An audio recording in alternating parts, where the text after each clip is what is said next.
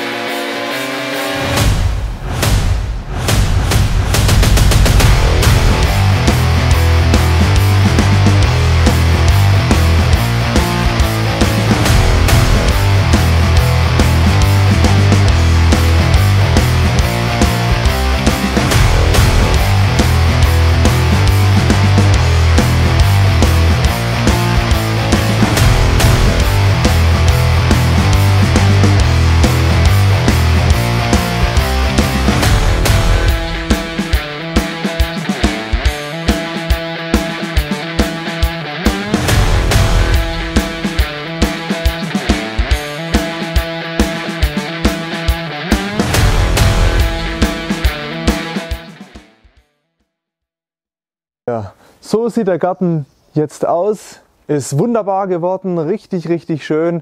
Gerade hier mit dem leicht geschwungenen Weg, der dann hinten zu diesem Rondell führt und schön abgegrenzt mit der, mit der Trockenmauer.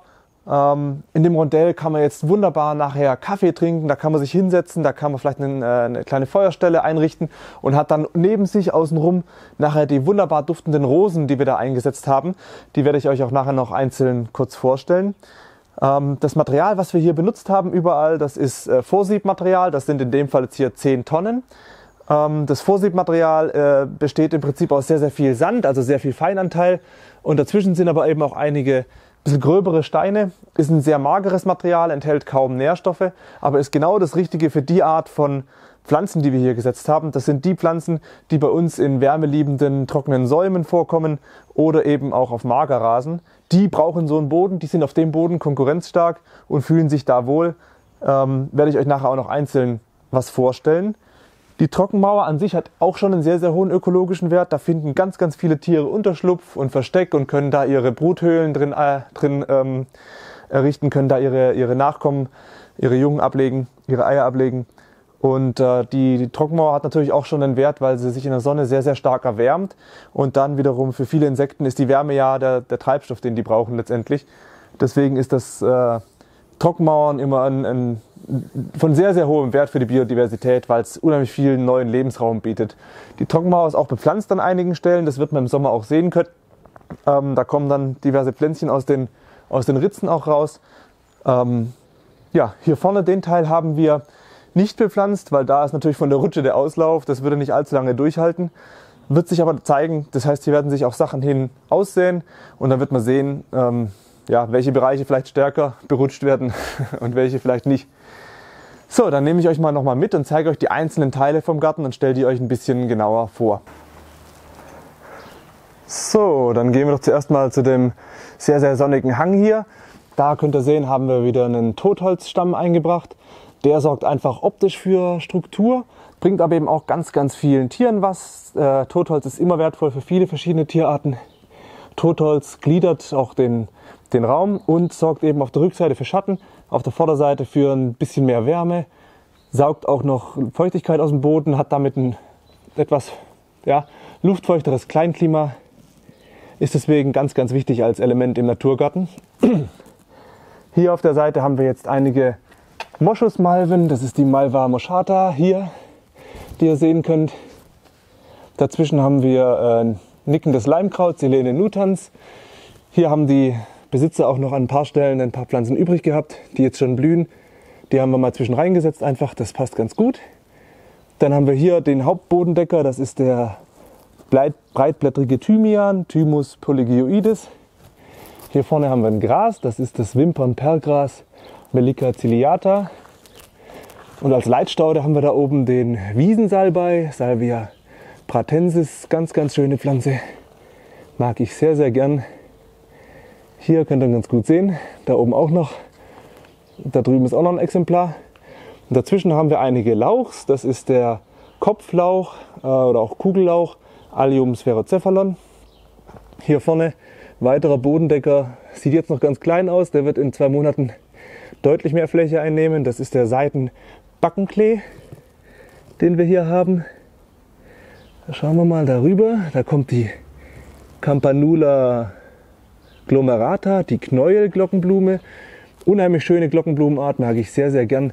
Davon haben wir ja auch äh, einige Exemplare drin. Dazwischen wieder eine Kuhschelle.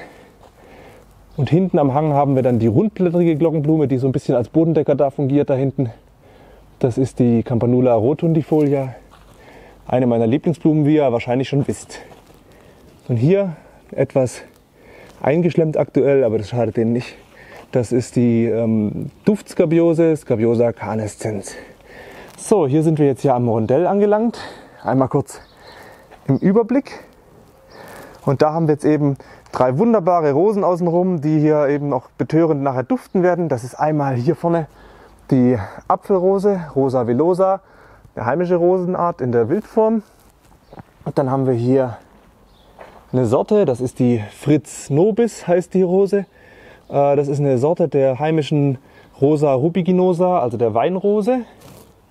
Ist relativ stark gefüllt, hilft aber trotzdem den Insekten. Also die bildet Hagebutten, liefert Pollen und Nektar. Und hier haben wir die Rosa gallica in der Wildform, also die heimische Essigrose, auch noch relativ klein. So, zwischen den Rosen haben wir verschiedene, äh, verschiedene Bodendecker. Einmal Latyrus vernus, das ist die Frühlingsblatterbse, dann hier hinten ein bisschen als Leitstaude die Campanula persicifolia, die pfirsichblättrige Glockenblume. Und da hinten als Bodendecker noch, das ist die, die große Sternmiere, Stellaria holostea. Die wird da hinten im Boden ganz gut zumachen, weil da ist es etwas schattiger. Ganz hier im schattigen Bereich hinten haben wir auch noch die Nesselblättrige Glockenblume, Campanula trachelium. Und hier unten auch noch eine. Die wird da hinten nachher wunderbar im Juli anfangen zu blühen. Hier vorne haben wir die edle Schafgarbe. Achillea nobilis ist das. Dann haben wir hier als Strukturgeber ein schönes Gras drin. Das ist wieder das Wimpernperlgras, das nachher wunderbare Ähren hat, die man auch als Schnittblume wunderbar nutzen kann. Dann haben wir hier die das nickende Leimkraut, Silene nutans, ganz, ganz wichtige Falterpflanze. Blüht auch sehr, sehr schön lange. Demnächst im Mai geht es dann los in Weiß. Und haben wir hier vorne auch noch ein paar. Dann haben wir hier vorne noch eine heimische Felsenbirne, die Amelanchia ovalis, die gewöhnliche Felsenbirne. Nicht zu verwechseln mit der Kupferfelsenbirne, Amelanchia lamaki, die man normalerweise kaufen kann. Und als Bodendecker eben wieder die rundblättrige Glockenblume und dazwischen drin noch einige Duftskabiosen.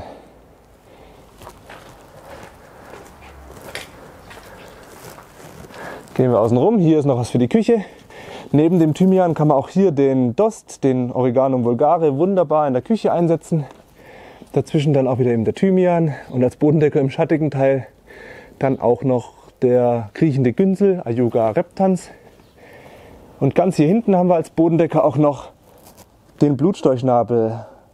Das ist der äh, Geranium sanguineum. Davon haben wir nicht so viele eingesetzt, weil der manchmal eben durchaus konkurrenzstark agiert und dann andere Pflanzen recht stark auch unterdrücken kann.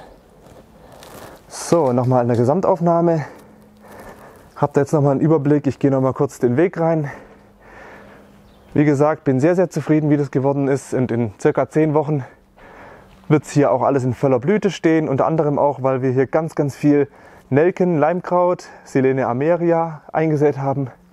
Das ist eine einjährige Art, die hier die ganzen Lücken erstmal füllen wird und dann erstmal ganz schön lange pink blühen wird hier. Wunderbar wird das hier. Ich denke, jetzt habt ihr einen ganz guten Überblick, wie der Garten aussieht. Ich werde euch natürlich im Laufe des Jahres auch auf dem Laufenden halten, wie sich der Naturgarten hier jetzt insgesamt entwickelt. Dann könnt ihr das auch mal sehen, mit welcher Dynamik das sich am Anfang entwickelt, wie bunt das hier alles nachher wird.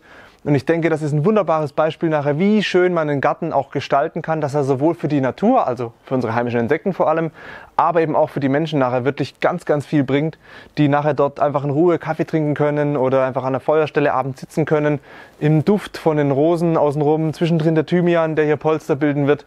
Das wird ganz, ganz fantastisch. Ich halte euch auf dem Laufenden und wünsche euch eine gute Zeit. Bis zum nächsten Mal. Ciao.